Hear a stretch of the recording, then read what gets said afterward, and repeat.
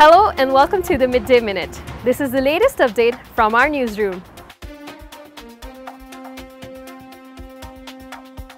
Thousands of school children will be protected by a new agreement between Occidental Petroleum and the Ministry of Education to provide almost 2,000 buses with safety and tracking equipment as part of the Darb Salamah project. According to a senior member of the Oman Road Safety Association, this is a welcome development. In December, the Ministry of Education revealed plans to equip 6,500 buses in the Sultanate with electronic tracking systems by the end of the academic year.